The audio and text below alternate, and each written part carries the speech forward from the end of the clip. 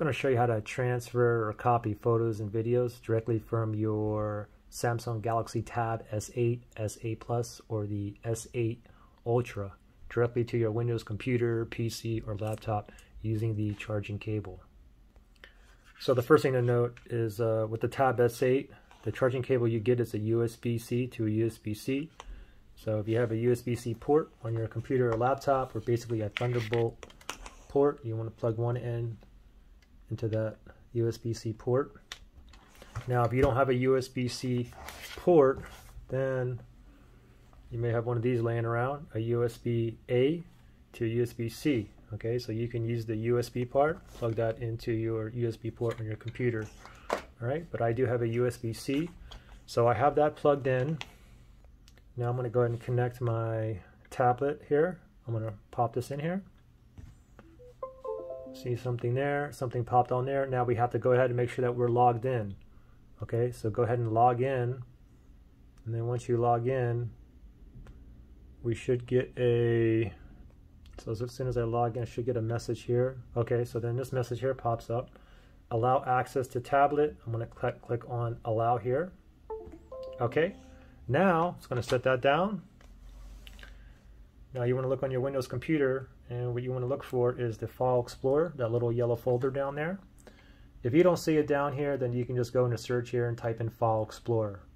You can type, type it into search. Okay, but I have my File Explorer right here. I'm going to tap on that. Now from here, what we want to do is we want to tap on this PC.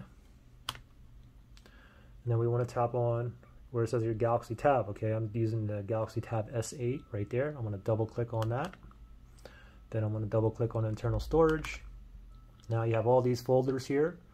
Now all your photos and videos that you take in with the tablet will be stored in here in the DCIM folder. Again, DCIM, double click on that and then double click on camera. Now we can see, I don't have that many photos or videos on here, but you can see I got photos in here. You know that they're photos if it says uh, JPG for JPEG file. And I have two video files on here.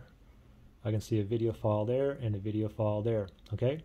So from here, we can go ahead and save this directly to our hard drive on our Windows computer. You know, for example, if I wanted this this picture, this JPEG file, I can drag and drop this somewhere on my desktop. Just drop and save it. Or what I typically do is I'll right click somewhere on the desktop on my trackpad, right click.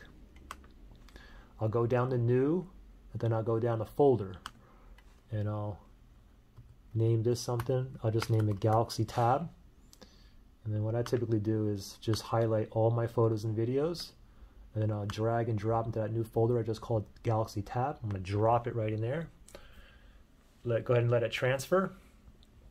Okay, there we go. So we're done. So now I can go ahead and unplug my tablet. And you can see that folder now. All my photos and videos are in here. I can double tap on that. And here's a video right here. I can double tap on that right there.